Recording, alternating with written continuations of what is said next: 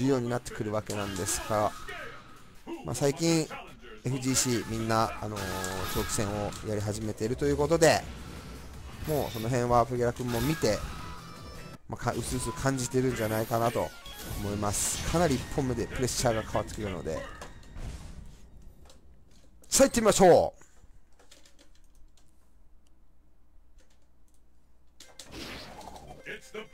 ラウンド1 1本目のラウンド1最初にファーストアタック。取りに来たのはキャベツバイパーだったが切り返しでプゲライブキダメージを取っていく。さあ中空からカウンターヒット。これはデグバーニングが突き刺さってからの見てからバックステセービングにうまく EX くらい。潰していくがここはつむじがうまく機能する。めくりにはセービングでいくがここもきっちり対処していって1本目取ったのはプゲライブキ意表をつかれたキャベツバイパー。これはちょっと圧巻な感じだったが逆昇竜漏れてからのバーニング拾い。この辺は当然最大取ってくる。ダッシュオスペシャルはうまくガードしている。しっかり中段当てて体力リードを取り返すがまだまだゲージ状況はお互いそんなに良くないので展開的には分からない。しかしこれは低空でまた当てたところに強酸打入る。しここきっちりウルコンが当たるが体力は残った。さあ踏ん張りたいが空中投げを読んでいる。マジか。どう見ますか？ナンヒル先生。今の反応されるとどうなんでしょうね。次のバックジャンプ怖い。画面端ジャンプ怖いっすよね。そうですね。飛んだらちゃんとしっかり読んでいるというところでキャベツバイパーバックジャンプはやりづらくなっていくのかなと。タイル君もそういった読みをちょっとコメントしてくれてますがかなりやりづらいかもしれないです。2ラウンド目。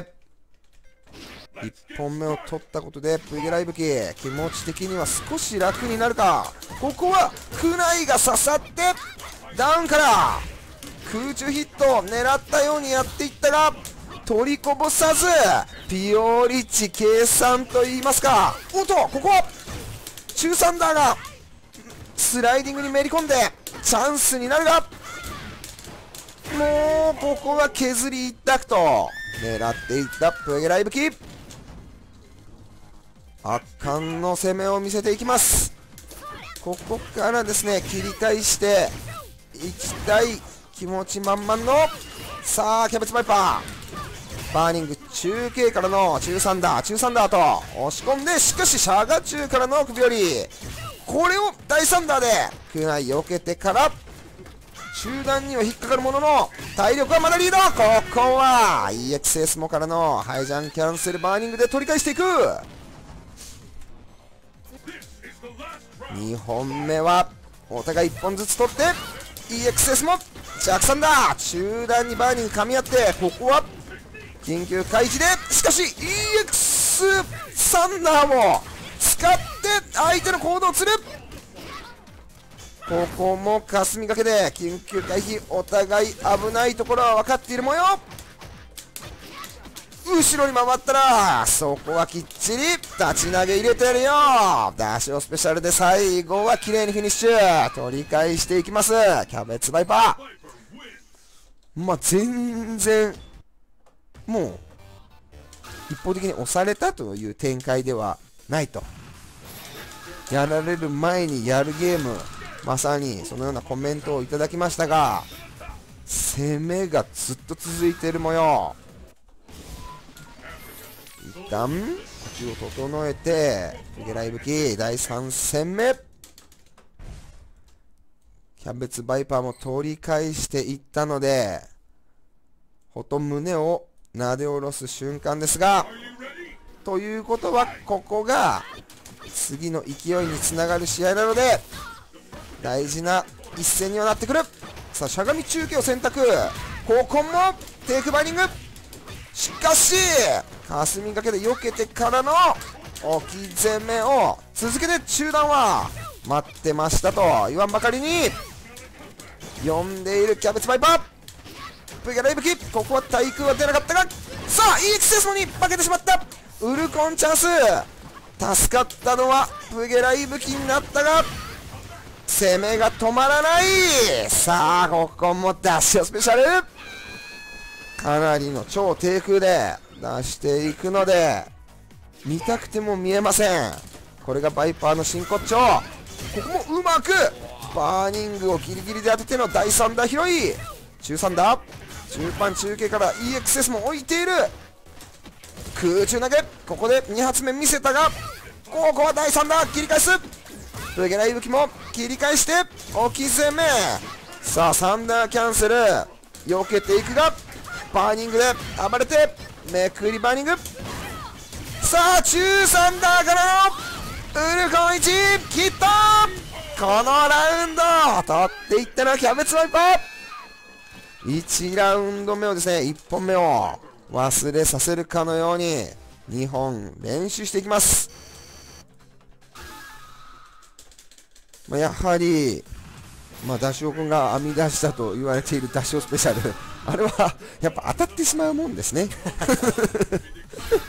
あれを見切るにはやっぱ背びで引き付けで前ステかバックステするとか、うん。そういう対処法しかないですよね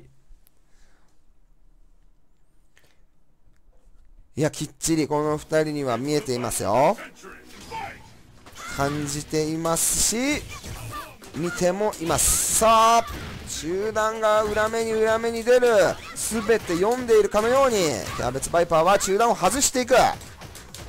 ところどころに空中くらいをわざと打って危ないところは第3ドアで回避。EXS も当たらなかったから良かったものの第3陣にはならず今度はプゲライブキのチャンスここは遅らせコパンが立ち投げに吸われてしまったがためお互いミスるが投げ勝ったのはキャベツバイパー。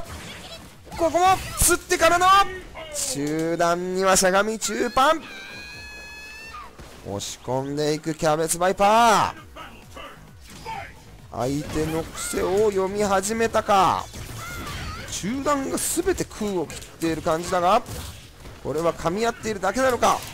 読みを完全に合わせられている。印象なのか？第3打切り返す。しかしプゲライブキも切り返してスムジオ連打。バーニングとは必殺技が交錯して第3打見えなかったのでガードしようとしたところきっちりここは投げている。裏からウルコンで拾う。これがキャベツバイパーの確認能力。スコアの方は1対3と最初に取ったプゲライブキでしたが今度はキャベツバイパーが3本練習。この辺に、まあ、ダニエル君結構10先やりましたが気持ち的にはどうなんですかね？結構流れがもう持ってかれちゃうとまあ特に相手キャベツさんなんでですねどっかで返してはいきたいんですけどね。ここで返すのが重要と。ここで止めることにかなりの意味が出てくるよと。大事な一戦。ここもさあ今度はクナイが当たってしっかり首折り。こうなると息吹ペース。クナイを見てちゃんとガードしてる。中段置いてるところにはしゃがみ中継。ここのつむじをガードして割り込みしゃがみ中継。コパンしゃがみ中継でダメージそんなに取りませんがここはこかしてくらい。投げで返す。ここに立ち投げが置い。てあった。ウルコン1全部減るか。残った。何を選ぶ。バーニング。ここは回避する方法はあったんでしょうか。削り確定なので勝負が決まっていたのか。さあ EXS も相模大家中段が EXS のに当たって今度はチャンス。しかしこの燃えろに EX バーニングにリスクを背負わせていく。中段で避けるがそこに前捨てしたところはきっちりリスクあるよと。ここは落とした。これは第3打ではなくウルコン選択で勝負に決めにいったのが裏目に出てウルコン食らうがまだ残る。この体力。さあここはまだ勝負圏内。しゃがみコパンで取り返したプゲライブキ今の画面中央えぐいな。えぐい当たり方しましたねこれはあの火力を持っているとなると他のバイパーとは一味も二味も違うよと見せつけてくれます。投撃発射バーニングを中段で落としてしゃがみ中継大系と振ってしゃがみ中 P からの詐欺飛びまで首折りでダメージ取っていく。さあここは EX セースモでクナイを避けようとしたのが当たったためにラウンドを取り返す。ここはギリギリで取り返したのでまだ精神的には一歩持ち直したといった状況でしょうか、ね。途中であここで取れるのやっぱ大きいですね。かなりでかいと。3本差から開いていくんで。そうですね。41と32では訳が違うよと。心の重圧が漂っていますがさあ一進一退。勝負内容は攻めが永久に続く展開と。お互い待つタイプではないと。すごいな。ということで早い展開。さあコスチュームがいつもに変わった。キャベツバイパー。これからが本気だぞと。コスチュームを変えての。さあこの試合。バーニングとサンダーが当たりまくる。ダッシュオスペシャルからのさあ今日サンダー次のダッシュスペシャルは当たらず今度は自爆しに行った形になってしまった。チャンスなのはプゲライブキガウフからのしゃがみ中 P 取りこぼしなしよと遅らせ中パンがお互いしゃがみ中継と工作し合いカウンターヒットで取り返す。さあ EX セースも中段で避けるがこちらは前投げが刺さってしまいキャンセルキャンセル。このテイクバーニング。しゃがみ中継でうまく避けたがここはさあお互いミスが続くが中段うまく。キャベツバイパー。当てたが大きい中 P に。当たったのはうまく。お互い持ち直す。さあ前捨て。霞掛け。つむじからのコマミスだがうまく。飛びが通るがちょっとボタンを押すのが遅かった。読んではいたがこれはしゃがみ中 P お互い早い展開で技がスカルも拾って取り返したのはキャベツバイパー。裏に回ってもいいぞと。裏に回る分には問題ない。ここも拾っていく。しっかり見てから対処する。ここの EX はバーニングに潰されさあここはお互い何も当てられなかったが中スラで投げで切り返す。投げる。ここも。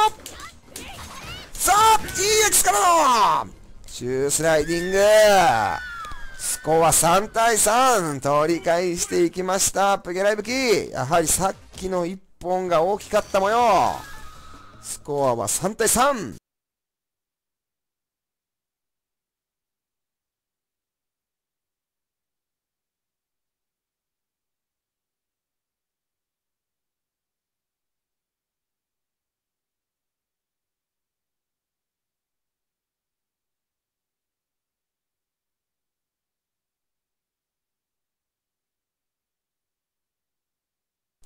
さあ調整したので止まったのは回復。ラウンド1さあここはバーニング。コパンと中3だおっと一気に攻めまくりたて。キャベツバイパーこのラウンドはバーニング。ミスったかに見えたがちゃんとフォローしていく。さあ中P対空。ここはワンチャンス。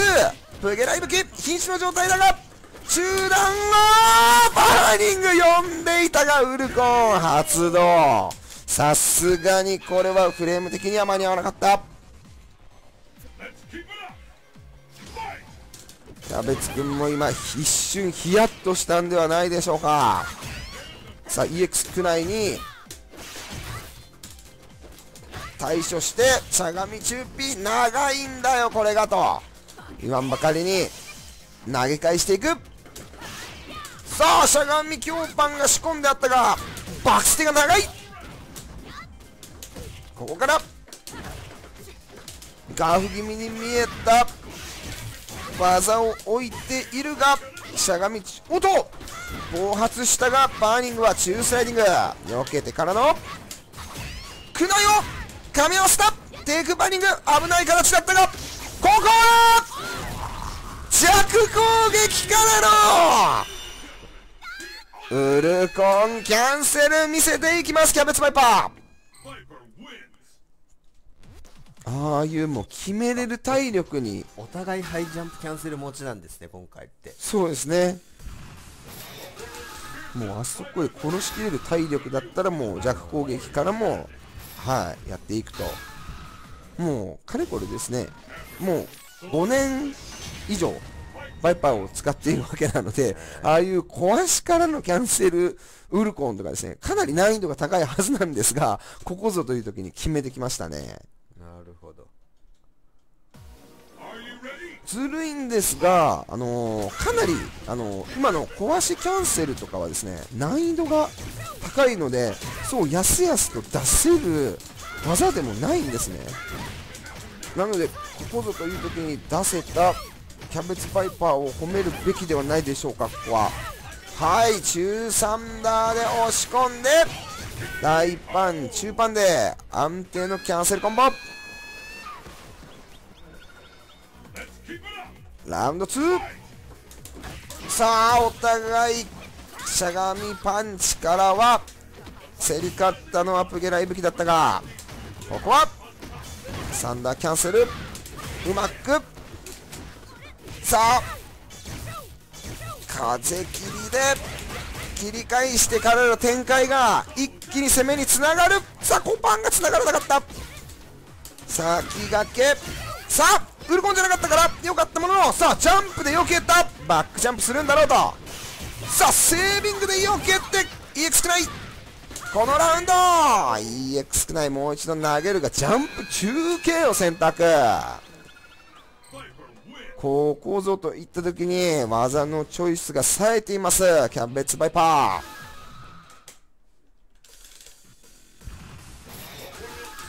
まあ、テイクバーニングとかですね。中断息吹の中断に対しての処理がお互い神がかっているのでそのレベルでの速い展開このスピードについてこれるかと言わんばかりの。いや今回10先史上一番コメント少ないんじゃないですかね。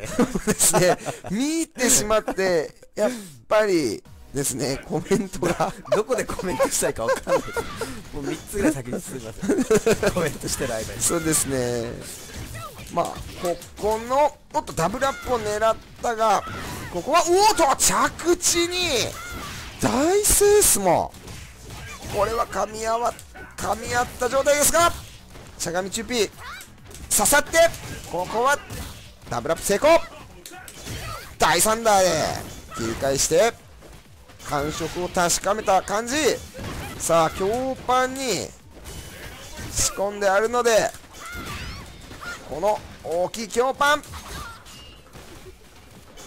あの大きい強パンが当たりすぎるとダスパンチとダスパンチ言われてますけども。さあ今回はさすがにバーニング削りはさせないぞ。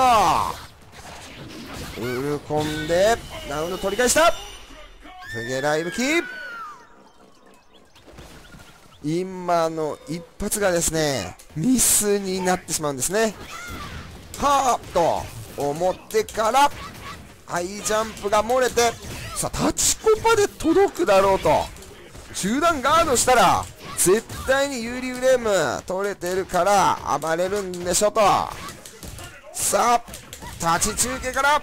さあ投げはお互い外すさあウルカンこれが届いてフィニッシュにはならないが何を選択するさあ中スライディング EX くらいでくらいを投げて中サンダーで突進を選ぶ熱いかなり展開が早いあそこに1回待たずに中サンダーでバックステを狩りに来るキャベツバイパー。さあ中段が当たらず。大サンダー大サンダー。後ろにダッシュスペシャルは漏れるが。ここの中段。EX セースモに噛み合って。立ちこもは届かないからと。一旦間合いを置くがバーニングが見えたらすかさず中段。コパンからの EX そして風切り EX くらいこのラウンドは止めた。カウント5対42本先取したら取り返すと。いった状況が。いや今あのコメントにあったんですけど相打ちの時にちゃんと歩いてましたね。前捨てじゃなくて。どそうですね。ういう判断なんだろうあれ。すごいな。まあ、もしかしたら熱くなってっていう可能性もありますが、ちょっとさっきの歩きはあまりにも噛み合ってすぎる。す。げえな。きっちりあおっとここは先に。中継サンダー刺してダブルアップには成功。詐欺飛びからここは空中投げでいかずにダブルアップ。成功した模様。ザンギタンがそしてプレーを始めていく。ここがですね取り返せばまた五分五分といったところですが攻めがやまないキャベツバイパー。工作したところこの空中投げがどう出るか。立ち投げ。シュー。音。ここは安定にダウンを取って遅らせコパンからの中段中段。さあ前に来るスタイル。キャベツバイパーは攻めをやめない。ダッシュスペシャル。さあ壊し壊し壊ししかしあれはですねやはりどんな人でも当たってしまう。あの距離でゼロ距離で出されるとやっぱ反応できないですね。さあ前捨てで投げを選んで中段しかし立っているのは亡者の証立ち中継が第3弾の噛み合って。大サンダーまで。ここは切り返し。大事なところでダスパンチ。ダスパンチ置いてあった。ウルコンが刺さって EX くらい潰してめくりさあここはウルコンではなく EX 風切りが当たらずフォローしていったところしゃがみ中Pでキャベツバイパーフィニッシュ。なんかかなりしゃがみ中Pを最後置いてあのー、あれですね。フィニッシュする場面が見受けられております。なんでなんでリバサ 2P なんですやっぱ、まあ、発生が早くてリーチが長いのがバイパーはですねしゃがみ中継振っちゃうとあまりにも遅いためにほ早くはあのさせないと。ということで置くならまあ強 P か中 P と。いう感じでございます。さあここもめくりバーニング。ガードしないといけない週3だ。ここはくぐったペケナイブキが置き攻めのチャンス。しかし安定で1フレ空中なのかな？3フレ空中か1フレ空中の技を使って置き攻めは完全に拒否に入っているキャベツバイパー。攻めづらいのでうまく攻め継続が噛み合わないと。そんな状況の中レゲライブキは次に仕掛けるのはさあ立ち投げ。画面端まで持っていくがここはそういう場合はちゃんと第3ダーで切り返すあたり歴戦の亡者。しかしここはつむじが当たってここも空中くらい読んでいたかのように。風切りでピオラステからのジャンプ強パン1フレ空中これはバーニングを出していってるということなんでしょうか？さあここも EX でカットしてからのライダーでダメージ。ここは先駆けめくり。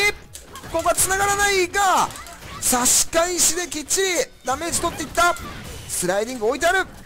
セービングバックスでこのラウンドはきっちり取りたいと。EX 少ないで取り返していく。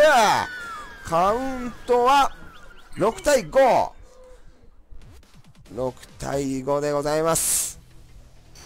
さあ今画面をですね操作するダニエル君がちょっとあのー、外れましたのでカウントの方は上がりませんが現在6対5というカウントになっております。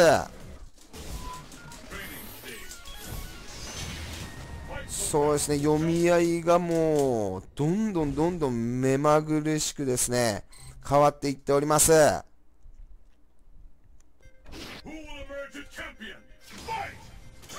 あ12試合目ということでさあセイスモに合わせてダブルアップ。ここは中段にバーニングが刺さるがこのバーニングはさすがにプゲライブキもしゃがみ中 Kで応戦していく。ここは焦がして表から裏落ちのような格好になったがここで後ろにバーニングしてからの仕掛けが待っていたがそれには引っかからない。後ろにバーニングをして前に攻撃したところに中サンダーを置いていると。あれはもう罠と言わんばかりですね。しっかりセイスモの位置にはリスクを合わせていく。さあしゃがみ中 K。スライディングが噛み合ってここは中サンダーだったから助かったがしっかりつむじつむじ。さあ EX クナイ。ここはしゃがみ中 K で届く位置にバーニング落ち。カウントは6対6これで6対6ということになりました。ナイル君ここも追いついてきましたプゲラ君。すごいですね。このお互いの負けず嫌い具合が。大学ですね。熱い。かなり熱い。並びました。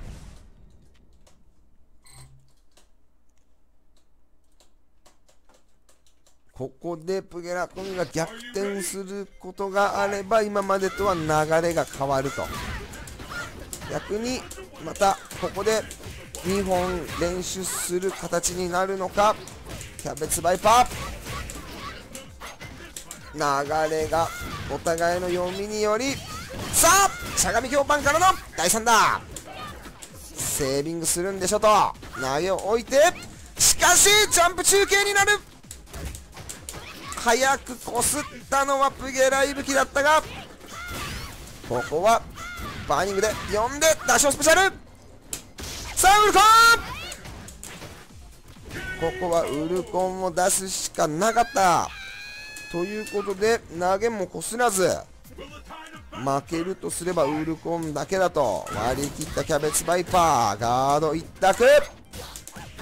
やっぱり最小リスクでその場その場をですねしのいでチャンスに大打撃を与えていくのが上級プレイヤー。バックステップ。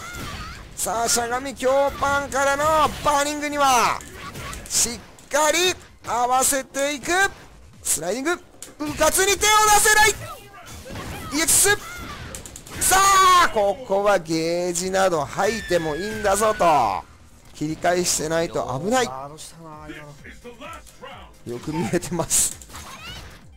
ここも削りダメージを取ってさあ EX くらいがダメージにつながった。立ち壊しバーニング。さあバックジャンプがミスにはなったがここでもしゃがみ強パン。EX バーニング。ピオリチを計算。フィニッシュブロー。は強パン EXS もこの辺のピオリチ計算も重々と最大ダメージを取っていったらピヨったのかそれとも分かっていたのかとうん。いう高度な連携の組み込み方でしたがやはりピオらせるというのは大きいですね。勝負がそこで決まってしまうので。はい。あのさっきの EX バーニング初めて見たんで多分。やっぱりまあ計算していたというところですかね。カウントは76お互い精神集中して14試合目。バーニングが裏に当たって大サンダー。この当たっているのをですね確認する能力が非常に高い。さあ表バーニング。お互いハイジャンプミスだったがここでチャンスが来たのはプゲライブキ。しかし着地するんだったらバーニング打っちゃうよと。しゃがみ中継にバーニング当たる。ここは風切り中継から。うまく当たった。桜井が。有利フレームをあんまり取れていなかったがために。攻めに応じる。キャベツバイパーここもダッシュスペシャルここぞという時はやはりこれがかなり強い。空中投げ。そして区内を投げてからしゃがみ中継。EX バーニング。さあしゃがみ中 P にはダスパンチ。置いてあったダスパンチ。当たるところで出ている。また！これはお互い。次で決まるところは中断を選択。ここも2本練習していく。8対68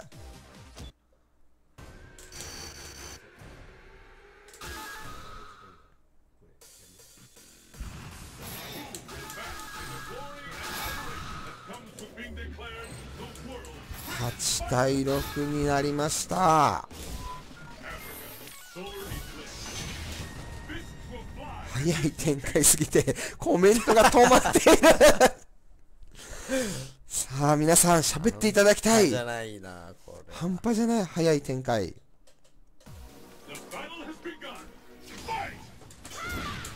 さあここもくぐって。さあきっかけはここもうまくフォローして立ち中継からの首折り。これはダブルアップチャンス。しかし投げはやっぱり外している第3打つってここは首折りピオリチが黙ってさあターゲットコンボを中盤の方で選んでいくが表の飛びうまく刺さってこのラウンドアップゲライブキ取り返していきます。さあラウンド2噛み合ったら一瞬お互いが脆いのでやるときはやっていくスタイル。さあめくり中継か弱系かなうまく使ってめくりヒットさせていく。ここでも攻めの手を休めない。さあ中段しゃがみコパン大バーニング。バックステからここはジャック P を選択。空投げはもったいないと見たか。立ち中 P しゃがみ中 P でカウンターヒットは立ち中 P の方。これがカウンターになるとつながっている。カウンター確認だったか入れ込みだったかは分かりませんが細かいところでキャベツバイパーは大事なダメージを取っていく。いや少ない。中盤中盤。中3だ。さあ前捨てが。これはダッシュスペシャル読んでいた。ここはダッシュスペシャル使うだろうと。最後のダメージの時に出す癖を読まれたがために大ダメージ。さあ EX ない。中スラからの方釣りコード出したくなるところに風切り置いておりました。今のは今のは完全にあのー、釣り針垂らしましたね。ここはコメントが少ないって書いたら言ったら見てるぞボンバーって。見て見てるぞボンバー。ありがとうございます、まあ、皆さんもですねこの試合を見て胸がはい胸が高鳴ると。今の取り返し方もですねかなりいい相手をですね翻弄する取り返し方だったのでこのラウンドにどう響くのか。さあジャックサンダーを選択。スムジから。さあめくり。ここはヒットせず首折り。チャンスを迎えたのはブゲライブキこのラウンド圧倒的にさあ立ち台形殺しきりにいった。そろそろそれだろうと。1点読みじゃなきゃできないような感じの。大 K を仕込んでいた。さあここは。互い中段がスカルが。今度の中段はヒット。詐欺飛びからの立ちこばしスムジさあダスパンチ。置いてある。しっかりスライディング。ここは。取り切りたい。さあ追いついた追いついたシーソーゲーム。さあこのこの今までの流れでいくとですねキャベツくんがこのまま2本取って10本となりますがここでプギャラ君がついに流れを変えるか。それともまたシーソーゲームでキャベツ君が取るかと流れが変わるのが非常に面白いもしもこのラウンドを取ったらと。胸が高鳴ります。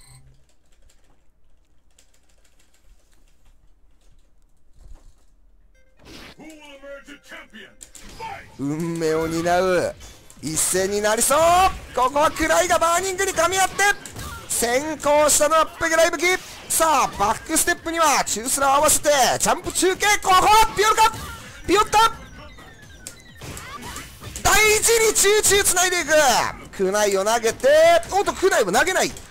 クナイよりもダメージを優先。しゃがみ中 K。ここでキャベツバイパー反撃に出る。しかし反撃ののろしは上げさせない。EX できっちりカットしていく。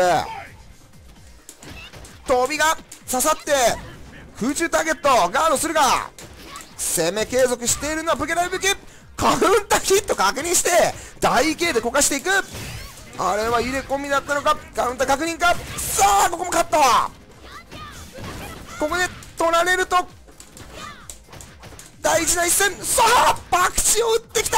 ベゲライブキ完全に流れを変えるために爆地で風切りを選択。さあここは表ワーニング。バックステから EX ライン。流れを変えた。ブゲライブキここに来てリードしていく。ここで来たか。さあ息詰まるえー攻防、毎回のことではありますが、えー、10先はジュースはありません。ジュースはありません。19になっても10本目を取った方がはいそれではリーチのかかった。プゲライブキとここで逆転を許してしまった。キャベツバイパー。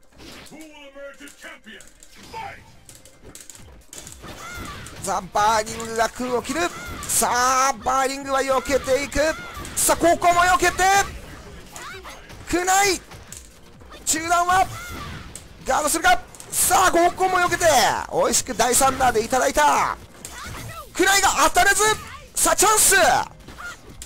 表飛びここもカットしていく。スムージ中盤中盤 EX3 だ届かずスライディング。お互い助かった中段が刺さる。サギットビチックだしかしキャベツバイパーも応戦。しっかり体力はギリギリだが勝負強いのがキャベツパーしかしここは EX センスもは関係ないぞと。EX くらい投げていった。プゲライブキリーチ。お互い前捨てまだ攻めの姿勢を緩まない。最後の最後にプゲライブキが選んだ。前捨てなのか？それともキャベツバイパーつなぐために前捨てだったのか？切り返す立ち投げ投げる追い詰めた！決まりました！EX ムゲラ最後の最後！8本目からまくってからの2本練習！ここで流れを変えた！マジか。ありがとう